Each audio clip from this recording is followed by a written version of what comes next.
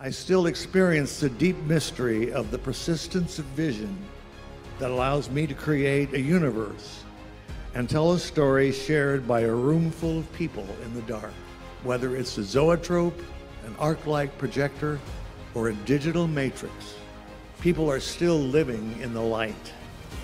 It's that transportation of an audience through the world of light and the shadows around it that I'm proud to be a part of.